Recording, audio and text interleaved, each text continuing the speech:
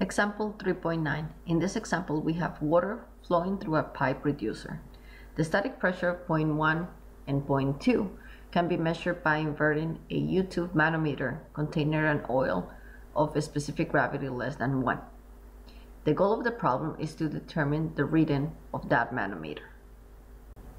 Since the goal of the problem is to determine the value of H, we first need to determine the difference of pressure between point 1 and point 2. There are two methods to do it.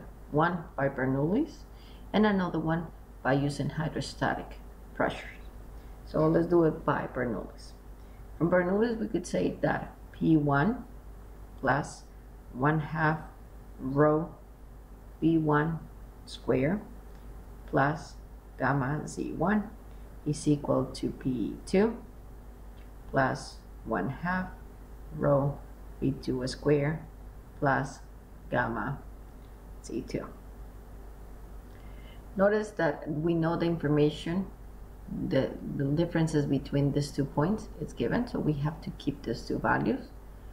The value of pressures is what we're looking for, and the value of the velocities we could find, or the relationship between the velocities could be found using continuity. So we're going to write that between point 1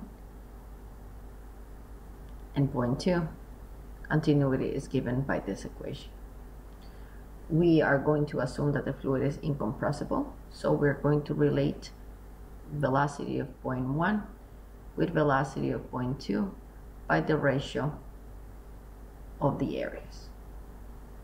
And we are going to replace it into this equation so we could get an equation for the differences between pressures. So we have P1 minus P2 and that is going to be equal to gamma C2 minus C1 plus 1 half rho and then we have B2 square minus b1 square. You could also write this equation using this relationship. So we have gamma Z2 minus Z1 plus 1 half rho B2 square minus A2 A1 square times B2 square and we could factor it out.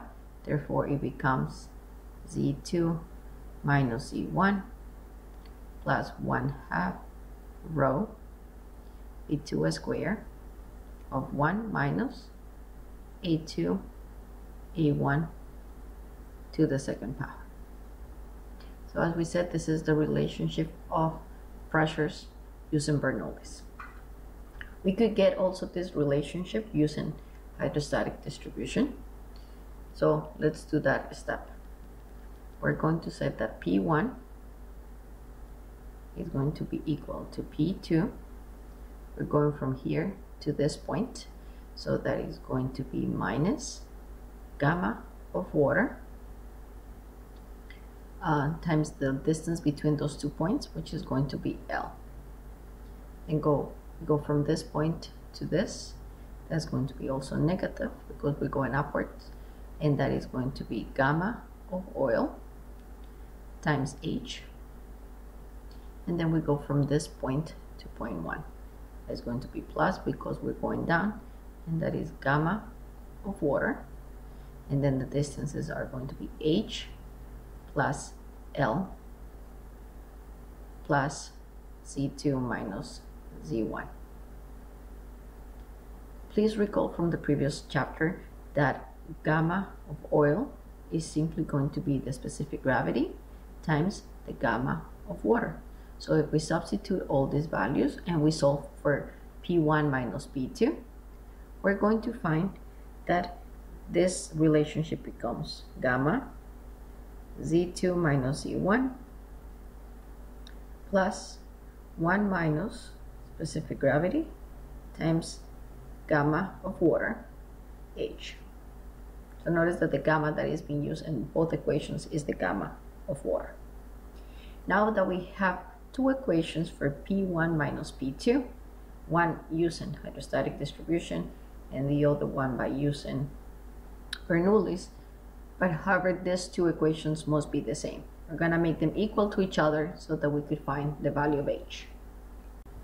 Now, if we take these two relationships and we make them equal to each other, we could see that gamma z2 minus z1 plus 1 half rho b2 square 1 minus a2 a1 square is equal to gamma c1 I'm sorry c2 minus z1 plus 1 minus specific gravity of the oil gamma h.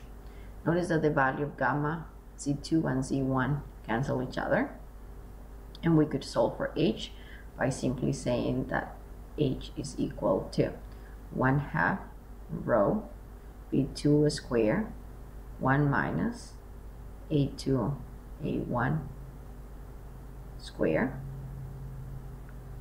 divided by 1 minus sg times the value of gamma.